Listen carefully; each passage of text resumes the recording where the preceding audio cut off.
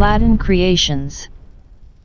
Well friends, welcome to another video of Aladdin Creations. My name is Kavindu. Today in this short video we are going to discuss with you another important bacteriology topic.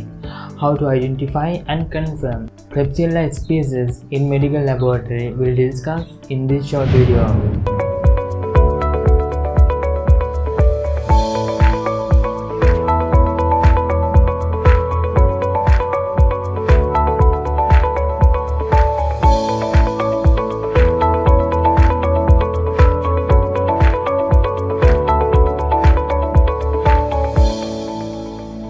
The genus Klebsiella is another member of group Enterobacteriaceae and many of them are resistant to many antibiotics.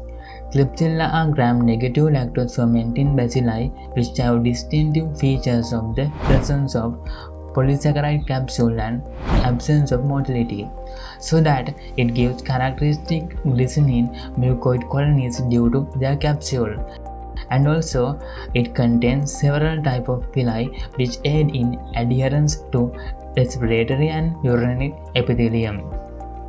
Klebsiella pneumoniae is the most common organism of the genus which can cause lobar pneumoniae. Also, Klebsiella oxytoca, Klebsiella granulomatis, and Klebsiella variicola are known as other human pathogenic organisms. Generally, they are facultative anaerobic organisms and responsible for variety of human infections such as bacteremia, hepatitis infections, and many unusual infections including endocarditis, peritonitis, necrotizing fasciitis, pyomyositis, etc. Let's see the diagnosis of Klebsiella in clinical laboratory. As you know, first we need to look at colony morphology Klebsiella species grow readily on ordinary media and show characteristic large glistening mucoid colonies with yeast odor. Since it is lactose fermented, the colonies on MacConkey agar is pink and pink pigment usually diffusing into the surrounding agar. The gram stain show gram-negative rod which is similar to other coliforms. The oxidase test and the motility give negativity. Here the motility test is important because Klebsiella is non-motile while other commonly encountered lactose fermenting coliforms such as Escherichia coli, Enterobacter and Citrobacter are motile.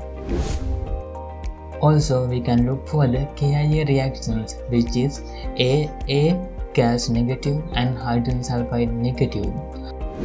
Other biochemical tests that we can use include indole test negative, lysine decarboxylase test positive, urease test positive, methyl red test usually negative and VP test positive, Simmons citrate agar test positive. Many other sugar fermentation results can also be used for the diagnosis, but above biochemicals are the commonly used tests in clinical laboratory setup. Antibiotic sensitivity tests for the isolated pathogens should be done along with clinical history since antibiotics are the treatment for Klebsiella infections.